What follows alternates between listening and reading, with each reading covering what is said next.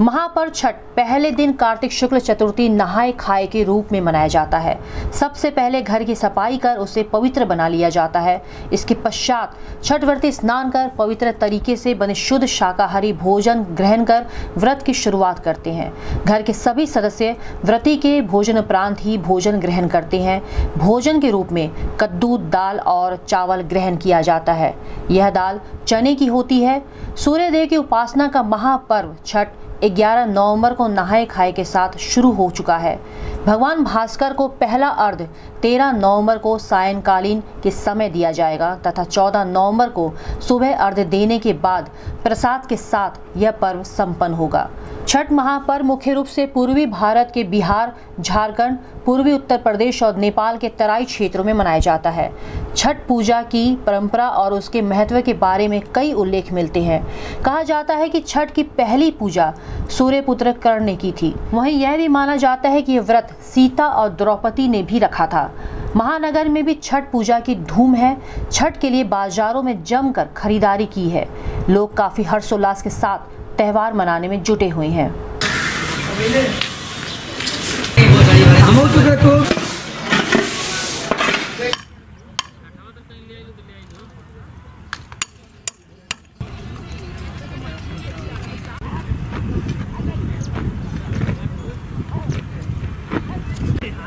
नहीं आएगा पानी लड़का छोटा अभी नंबर प्लेट है नहीं लगा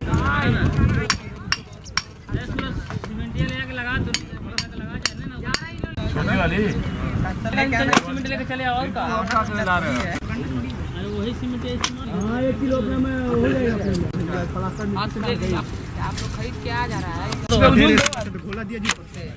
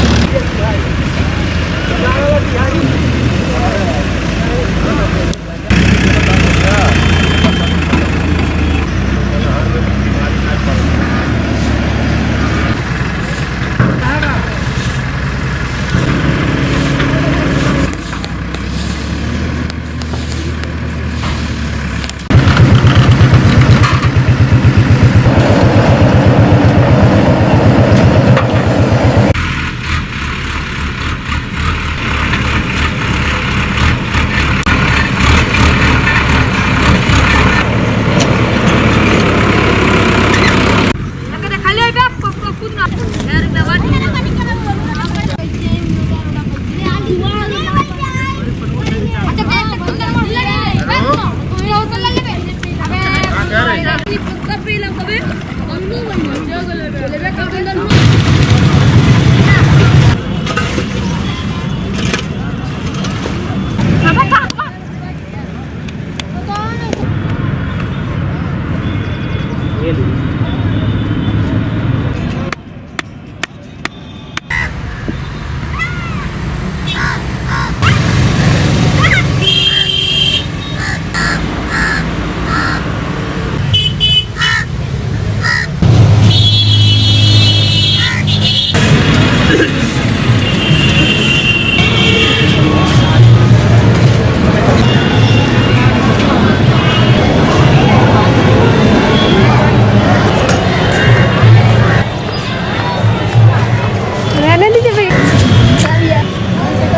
भैया